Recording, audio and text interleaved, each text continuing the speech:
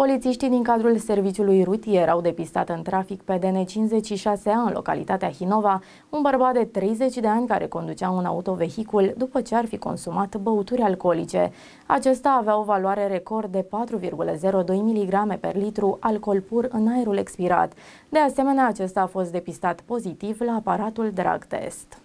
Tot mai mulți șoferi tineri sunt surprinși de polițiștii mehedințeni, păuți și chiar drogați la volan. Aceștia nu realizează pericolele la care se expun atât ei cât și persoanele din jurul lor. România se află în topul țărilor europene în privința accidentelor mortale, una dintre cauzele importante ale acestor evenimente fiind și conducerea sub influența alcoolului. În ciuda potențialului pericol public în care se transformă cei care beau și se urcă la volan, pedepsele pe care aceștia le primesc sunt mai mici decât în alte state. Astfel, în acest weekend în județul Mehedinți a fost depistat un bărbat cu o alcoolemie record care putea provoca o adevărată tragedie dacă nu ar fi fost oprit de către polițiștii mehedințeni. Conducătorul auto a fost testat cu aparatul alcool test, rezultatul fiind o valoare record de 4,02 mg per litru alcool pur în aerul expirat, fiind cea mai ridicată valoare constatată de polițiștii din cadrul IPJ Mehedinți. Totodată, conducătorul auto a fost testat cu aparatul drag test, care a indicat rezultat pozitiv la cannabis. La data de 4 februarie, polițiștii din cadrul serviciului rutier au depistat un trafic pe DN56A în localitatea Hinova, un bărbat de 30 de ani,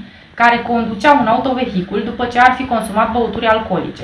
Conducătorul auto a fost testat cu aparatul alcool test, care a indicat o valoare de 4,02 mg per litru alcool pur în aerul expirat. Totodată, acesta a fost testat cu aparatul drag test, care a indicat rezultat pozitiv la cannabis.